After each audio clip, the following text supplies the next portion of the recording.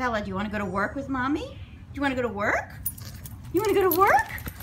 You want to go to work today? Okay. I know, we're going to go to work. You have to calm down. You have to calm down. We're going to go to work. I know. I know. We're going to go to work.